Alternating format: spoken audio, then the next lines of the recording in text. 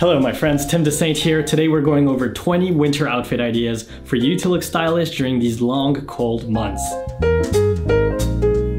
Wool is the name of the game in winter. You can never go wrong with a cream wool sweater, some denim, and some sneakers. Also, this jacket from Ami has been a mainstay in my wardrobe since last year. I love the color and texture of it. Great for a nice casual everyday outfit. For something a little smarter, swap the jeans for some smart trousers and go for a more tailored coat. Black and brown is such an underrated color combo in my opinion, and I've been loving playing around with these colors lately. One of my favorite jackets right now is this black nylon jacket from Cole Buxton. I don't think it's available on their website right now, unfortunately, but it is such a cool piece. It's very versatile, but I think it looks best with the more casual outfits like sweatpants, a sweatshirt, and a pair of sneakers for an easygoing, comfortable outfit that still looks put together. Or you can also swap the sweatpants for some jeans and go for an all black look. When going all black, I like to have different textures to add more dimension to the outfit. So here you've got the denim, the leather of the shoes, the wool sweater, the nylon jacket, and the canvas cap. It just helps differentiate each part of the outfit and make the whole look more interesting. Speaking about black, there is no item in winter that is more of a wardrobe staple than the black overcoat. I have a deep passion for coats, and the black overcoat is at the top of the list. I've had this one for many many years, so unfortunately you will not find it anywhere. The versatility of a black coat is unmatched. You can pair it with some smart trousers, some knitwear and sneakers for a smart casual outfit, or go for a black suit and black turtleneck combo underneath for something a little smarter that you would wear to a fancier venue when you want to be a bit more dressed up, a bit more chic. Or keep it laid back with some jeans, sneakers, and some colorful knitwear. I've been loving wearing white jeans lately. It feels a little bit more chic than your standard light wash jeans without trying too hard. That's the power of the color white to be honest. There is something inherently chic and effortless about outfits that use white and cream tones in general. In fact, you can even go for an all-white outfit in winter and look super elegant. The key here is to go for slightly different shades of white, off-white, cream, ivory, etc. So you don't just blend into this one uniform shade of white. Coats, coats, coats. I've got a few more top tier favorites in my collection, so let me just take you guys through the rotation. This gray coat from Mer is my latest pickup and it is an absolute gem. So simple yet bold at the same time. Featuring maximalist large padded shoulders, a key component of many of Lemaire's designs, it really gives a lot of structure and draws the attention to the upper body. I like to style it with other muted pieces like this black Uniqlo turtleneck and these gray Mer trousers.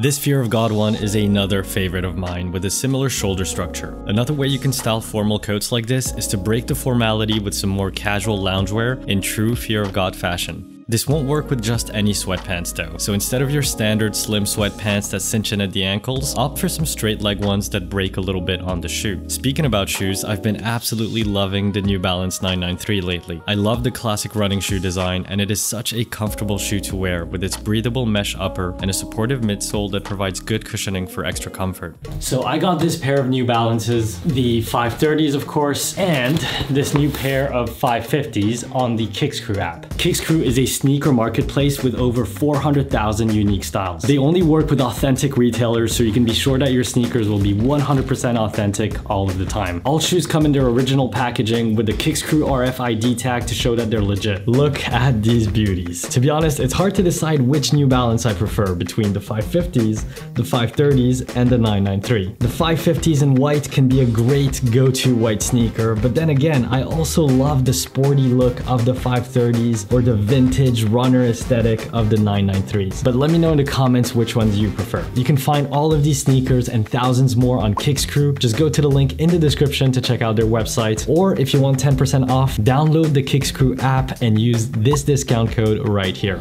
Black and white is the color combo that never fails. Try wearing a black turtleneck with some white jeans or trousers, then black or white shoes, maybe an accessory, and a coat of your choice. Here I'm going for this gorgeous beige coat from Ami to stay in similar neutral tones. Earth tones like beige or brown are such a staple color palette for coats in general, whether you go for a smarter one like this or something more casual like this brown cotton blend coat from Essentials. This one is a bit more of a Mackintosh type coat that you could wear when it's raining. I love the silhouette of both Essentials and Fear of God pieces. It pairs really well with an oversized hoodie and more streetweary pieces in general. Little side note, light gray and beige is such a clean color combo in my opinion. I love the clean tonal look that it gives. Matters.